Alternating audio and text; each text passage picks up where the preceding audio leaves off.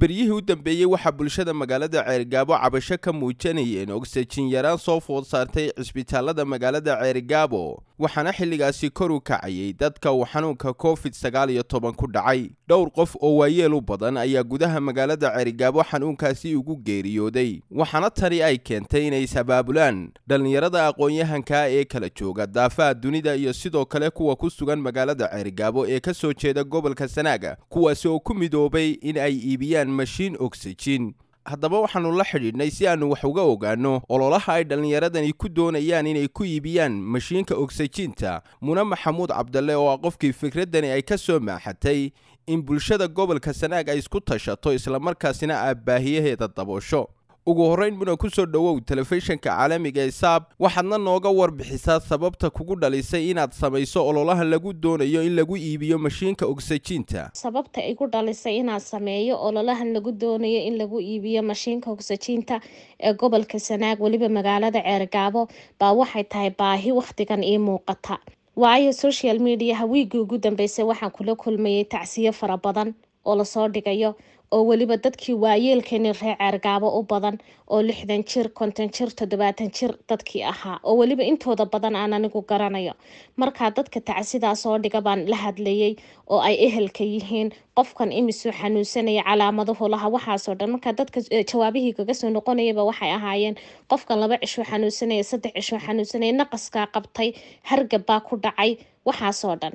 Marka dadka qaarna waxayba ku odhanayaan oxygen baanu weynay aanu ku xidhno. Waxyaabahaasoo dhan. Yacni caafimaadka in badan baan ku soo dhex jiray oo aan ka shaqaynayay. Marka anigoo og yacni caafimaadka gobolku halka uu taagan yahay baa waxaan sidhi mar haddii xanuunkii covid nineteen uu wadanka xoog iminka ugu jiro magaaladaadiina aadba garanaysid halkay de yacni caafimaadkeeda uu taagan yahay oo inaanay mashiin xitaa haysanin dee oxygeno weyn oo mashiinkan dee oxygenada laga dhaamiyo aanay haysanin. Ma ka gurman kartaan inaad bal aada iibisaan idinku. Marka fikraddaas waxaa igu dhaliyay markaas oo aan go'aankaas ku qaatay sababtaasay walaal ahayd.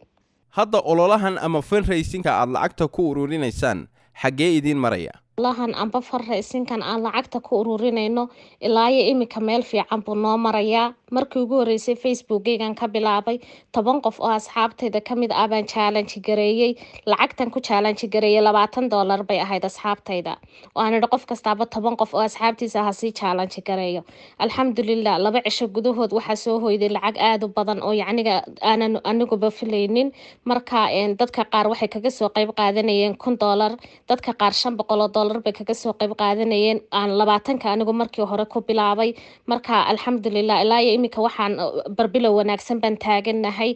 Marka sidii loo baahnaabay weli u socotaa qorshihiinnu muxuu yahay amaba ilaa intee ayaad doonaysaan inaad gaadhsiisaan si aad mashiin ku iibisaan qorshahayagu waxa weeye walaalo. Insha allah inaanu mashiinkaas iibino taargetka iyaguna waxa weeyaan lixdan kun insha allah ilaa toddobaatan kun inaanu gaadhno. Sida ugu dhaqsaa badanna aanu mashiinkaas u iibino gobolka insha allah ma is leedahay shaqadii dowladda inay qabato ahayd amaba wasiirka caafimaadku ayaad qabateen ka dhalinyar ahaan cabdiraxmaano waa run oo shaqadaas waa shaqadii dowladda waana shaqadii wasaaradda caafimaadka. Laakiin ka gobol ahaan waxaanu tabaynaa in wasaaradda caafimaadku ay ka gaabisay shaqadeedii oo siyaasadii covid nneteen-ka in lagu maamulo xitaa loogu talagalay aan haabkeeda la hayninin wakhti intee leeg ayaad doonaysaan inaad ku soo gebagabaysaan maadaama xanuunka uu bulshada ku sii fidayo ogsajintuna muhiim u tahay bukaanada aan neefsan karayn waxaan rajaynaynaa insha allah in sida ugu dhaqsaa badan aanu u soo xidhno bisha abriil shanteeda buu naga soo dhammaan doonaa insha allah brogaraamkaasi ugu dambayn muna maxaad ugu baaqaysaa bulshada ku dhegaysanaysa? Haddayse u baahdaan inay ka qayb qaataan fanraysinkan aad samaynaysaan xaggee bay idinkala soo xidhiidhayaan. Dadka muxsiniinta ah ee meel kasta adduunka ay joogaan gobol kasta ha u dhashaan. Waxaanu ka codsanaynaa inay nagala qayb qaataan mashiinka iibintiisa oo xilligan aanu baahi weyn u qabno akoonka lagu hagaajinayo qaadhaankaasna halkan baan idinkula soo sheergarayn doonaa. Waxaa ku qoran gargaar charity group. Arrintan ololaha ee loogu jiro sidii mashiin ogsajin loogu iibin lahaa magaalada ceerigaabo ayaa ku soo beegmaysa kadib markii bishii julaay saddex iyo tobankeedii labada kun iyo labaatanka uu wasiirka wasaaradda caafimaadka somalilan uu ka dhagax dhigay cisbitaalka ceergaabo warshad dhalinaysa ogsajiinta taasi oo ugu talagalay xilligaasi inay wax ka tarto xanuunka covid nneteen halkan waxaan ka ballan qaadaya oon dhagax dhigaya warshaddii dhalinaysa ogsajiinta inaan keenayno. Balse weli ma aysan fulin ballanqaadkaasi uu wasiirku sameeyey xilligaasi. Waxaana ka soo wareegtay siddeed bilood ballanqaadka wasiirka arrintan dhallinyaradu isu abaabuleen ayaa wax weyn ka tari doonta baahiyaha dhinaca ogsajiinta ee haysta magaalada ceergaabo cabdiraxmaan ilsar saab t v ceergaabo hadal. Oo hadal.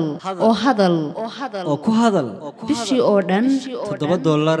Oo keliya. Haddaba si aad ugu shubato adeega kaafiye fadlan garaac xidig siddeed eber siddeed afargees ama xidig laba eber laba. Tayo. Waa telesom